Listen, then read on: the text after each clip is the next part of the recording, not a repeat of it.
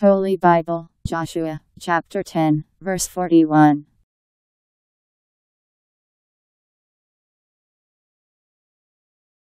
Joshua overcame them from Kadesh Barnea to Gaza, and all the land of Goshen as far as Gibeon.